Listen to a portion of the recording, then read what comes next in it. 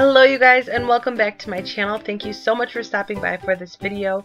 Today I am going to be sharing with you another addition to my Decorate and Clean With Me series. I decided to film how I decorate for the fall in our bathrooms. So this first video is our downstairs bathroom. I am really excited to be doing another one of these videos and I hope that you enjoy it. So let's get started. So of course my first step is to remove everything and get everything nice and clean before we start decorating. Today I'm going to be using this Method Foaming uh, Cleanser. I really like this, it's all natural.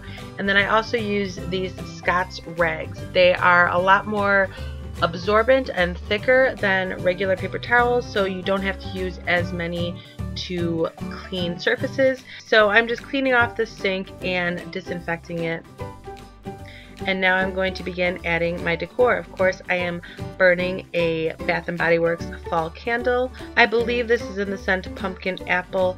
And then I am going to be using a small set of orange string lights just to drape around the mirror. And then since I am filming, I was a little bit discombobulated so I forgot to dust off the mirror and clean it. I am using this Method Glass Surface Cleaner. I love this stuff. It has a really really clean smell. So now our sink is all done and now I'm going to move on to the toilet. When cleaning the toilet, I like to use this Clorox bleach foamer. I think that it just disinfects everything and I want to make sure that the toilet area is really, really clean. And now I am going to move on to this little tiny nook that we have in our bathroom. We would like to install some permanent shelves in this area, but for now we just have this tiny little shelving unit that we keep our towels and toiletries on.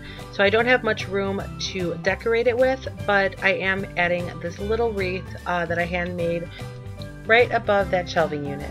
And then I wanted to change this picture out. It was just a picture of sandals and I had moved this really really pretty rustic rain boot photo from our dining room because I added a new um, piece of wall art to that area. And so instead of putting this rain boot wall art away in storage I decided to add it down here in this bathroom. So let me know what you guys think about the switch but I really really like this here So that about does it for this really quick decorate with me in our downstairs bathroom. I will be doing another one tomorrow in our upstairs bathroom. I really hope you enjoyed it. Let me know what you guys thought can make a huge difference and give off some really festive and cozy vibes. If you are not yet subscribed to my channel, please make sure to subscribe and join my YouTube family. I would really, really appreciate it. Also make sure to check the bottom description for all of my upcoming videos. Thank you guys again so much for watching and for supporting my channel. I will see you guys in tomorrow's video. Take care. Bye.